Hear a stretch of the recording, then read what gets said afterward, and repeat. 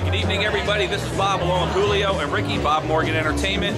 We're here at the always beautiful Merighi Savoy Inn for the Chamber of Commerce's 41st Dandelion Dinner in Vineland. It's going to be an amazing night. Right now we have the photo booth going on. We've uplit the room and the photo booth. So again, as you can see, people are getting ready to go in. It's going to be a blast. Check back soon.